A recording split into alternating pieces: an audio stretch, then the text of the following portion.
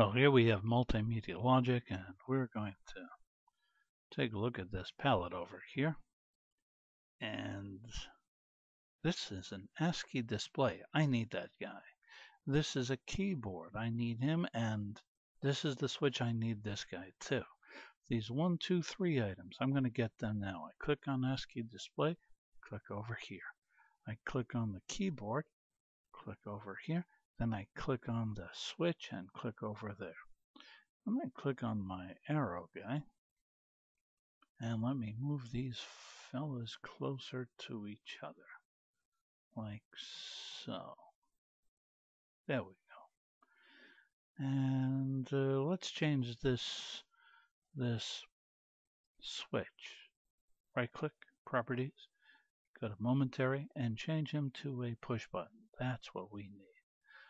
All right, now I'm going to grab the wire tool and connect up the push button to the reset button.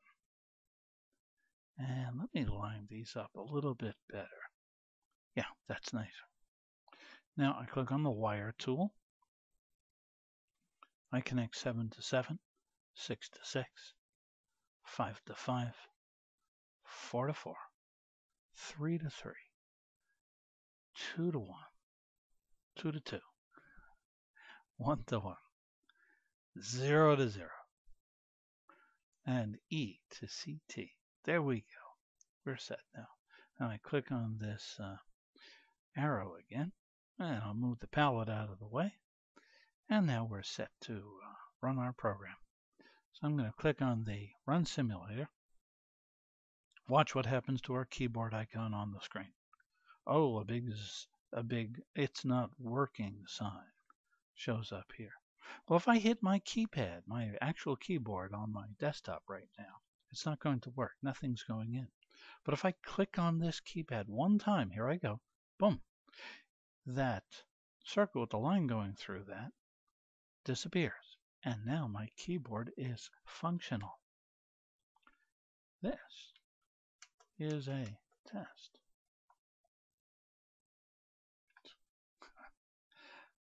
From George Oh.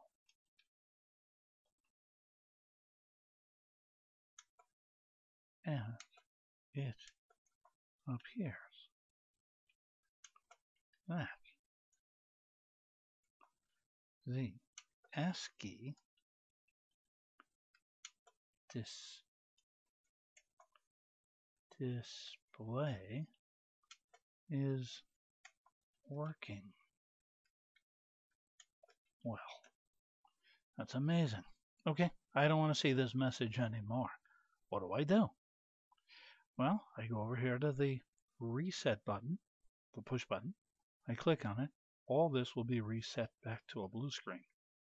Oh, there we go. That's amazing. It's that simple. That's how you do this. Connect the push button up to reset 7 to 7, 6 to 6, 5 to 5, 4 to 4, 3 to 3, 2 to 2, 1 to 1, 0 to 0, and E to CT, and then hit the simulator and it runs. Then click on the keyboard, get rid of that nasty red sign, and then your keyboard works. Very well.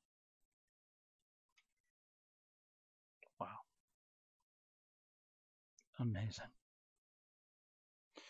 Well, thanks for watching. And this is George Boole. Bye bye now.